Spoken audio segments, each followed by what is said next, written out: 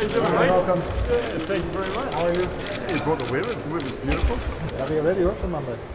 No, we make our, we're building up to doing that. Of course. Brilliant. Same as you. All the best. See you soon. See you. See you.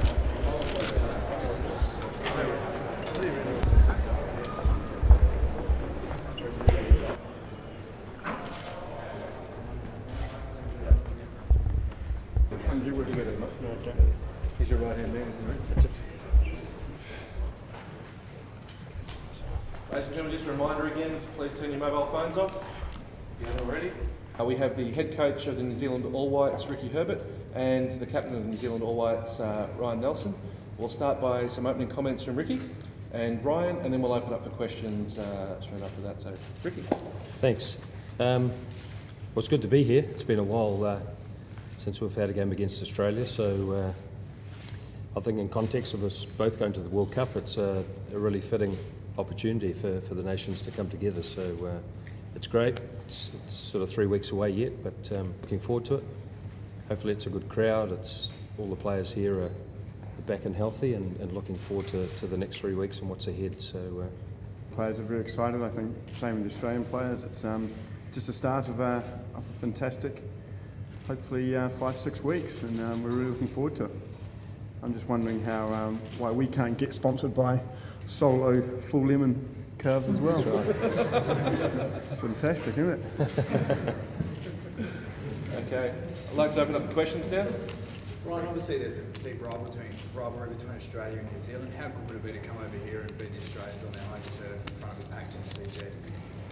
Oh, well, in all honesty, um, you know, it's, um, there is a big rivalry, rivalry but we, we all know that I know the Australian players really well and they know us and um, they're all a good bunch of guys and, and um, they understand and so do we that it's just the first stage of what's going to be a really important five weeks. Um, obviously for us, yeah, it's, it's a big game and uh, we want to do well, but um, the performance is the most important for us.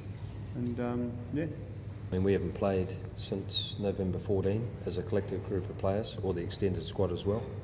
Um, we had a match in Mexico, which had a, a lot of new faces there. So for us, it's, it's really just getting on back on the pitch again and, and getting playing.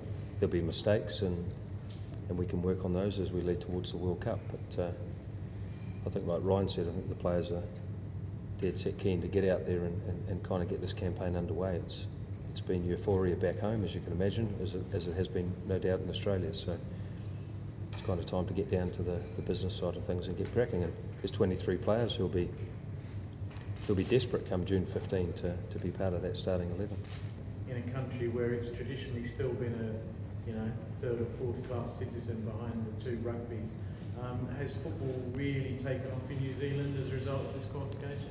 Yeah, look, I think if you'd been there since November 15, you'd probably realise that uh, it's, it's not third or fourth ranked. It's, it's probably number one at the moment, um, and, and, probably quite high on that ranking.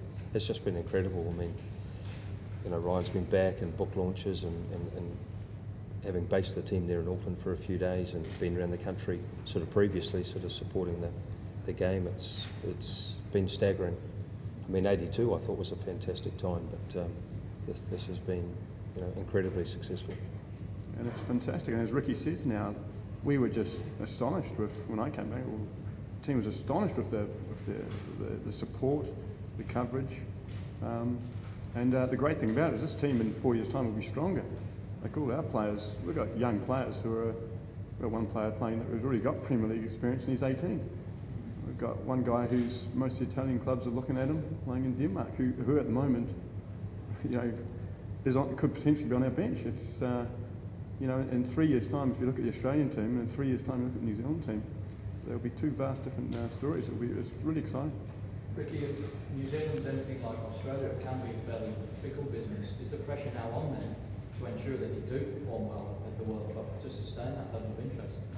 Um, yeah, look, I think the pressure is always going to be on, and I think that's to be expected. That's the industry, and uh, and quite rightly so. I mean, we want to make a difference. We want to go there and do well. So, but the public been incredibly supportive. I think, you know, 28 years long, long time in the wilderness. Not to be back on that stage and, and to get it back. I think people have been, you know, incredibly supportive. And you know, what, whilst a lot would think that it's a great achievement to get there.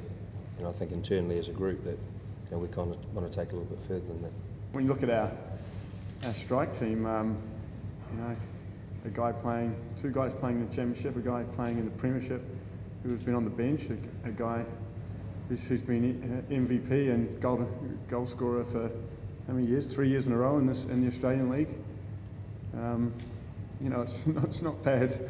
It's not bad firepower. I think I think uh, most teams would be quite happy with that. So um, so yeah, when I look at that, gee whiz, I've been on a lot of New Zealand teams where it given my left arm to have that kind of firepower. So I'm not worried at all.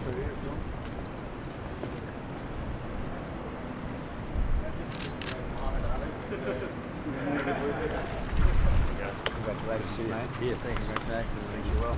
Thank you, you too. There he is, my friend. How Hello, mate. How are you, buddy? Good to see you. You all right? Hey, mate, congratulations. Oh, thanks. How's Turkish like? You got black on as well, was it? Are you allowed to have it? Come here, mate. Sure, our guest, uh, guest in the middle, huh? That's always. Uh, Maybe everyone with hands around the back. Play, guys. Thank you. Well done. good. Can you shake hands, please, coaches? Folks, you shake hands. We always do. Yeah.